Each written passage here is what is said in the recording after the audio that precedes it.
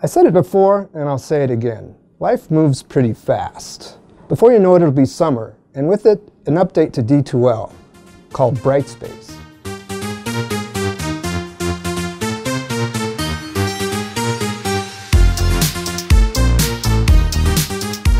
Brightspace may look different, but it works exactly the same as the D2L that you already know. Same tools, same functions, same buttons, but brighter.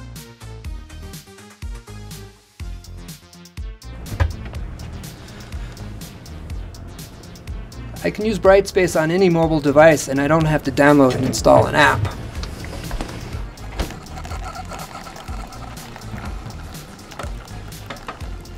Even when I get my morning coffee, I can work on Brightspace. Oh. Student just submitted an assignment. The update happens May 11th.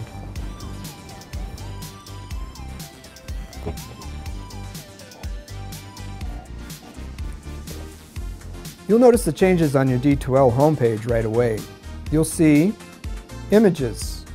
Instructors can select an image from a bank or upload an image from their desktop for each course site. Students click on these images to enter the course. New fonts, they are updated and easy to read.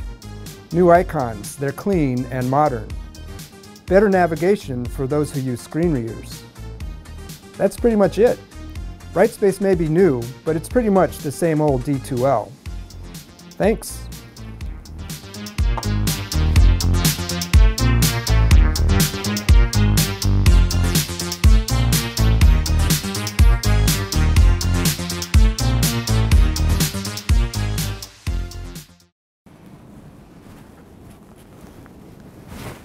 You still here? That's it. It's over. It's done. It's really no big deal. The update's no big deal. No worries. Oh, more information will be coming later on in the semester. Stay tuned.